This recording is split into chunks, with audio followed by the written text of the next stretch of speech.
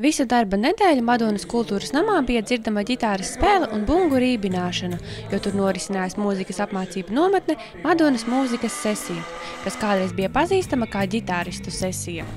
Šogad Madonas mūzikas sesijā piedalījās 40 dalībnieki, lai arī tas ir mazāk kā pagājušajā gadā, dalībnieki šogad bijuši īpaši aktīvi. Prieku darīja tieši Bauskas bonzinieks, kā viņa bija Arnolds, laikam vārdā, matēnais smagās mūzikas pārstāvis un, un, un nu, kas vienkārši izmantoja laiku un katru sekundi vienkārši darbojās ar bungu vālītēm.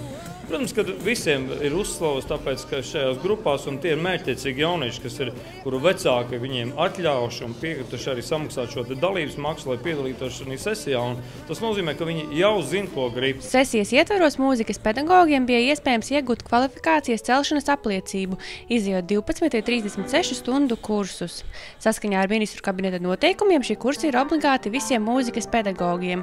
Apliecību ieguva seši mūzikas skolotāji. Tas ir domā domāts, eh, lai piesaistītu vairāk dalībniekus, arī lai būtu eh, varbūt nopietnāki mūziķi, kas jau ir izgājuši kaut kādus pamatus. Un, Un tiešām mūzikas pedagogiem bija iespēja dabūt eh, apliecības, un tie ir seši šogad. Vladimirs Berezins ar mūziku dzīvi saistīja jau 15 gadus, un to laikā apmācījis ap 400 ģitāras spēles entuziastu. Ģitāristu sesijā viņš piedalās pirmo reizi, taču saka, ka tagad braukšot katru gadu. Muzikantiem, iesācējiem vajadzētu atbraukt uz šejieni, jo šeit ir ļoti augstas klases.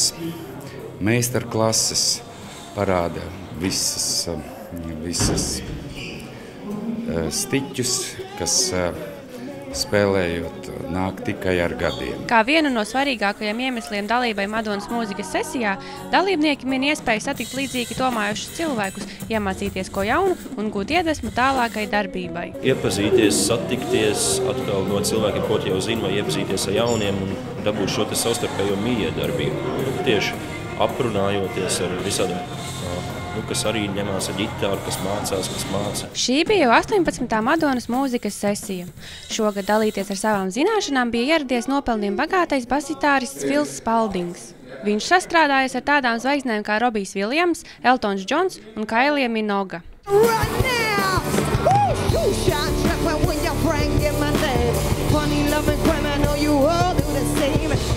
do the people you are bound in your head, bound in your head, bound in your head.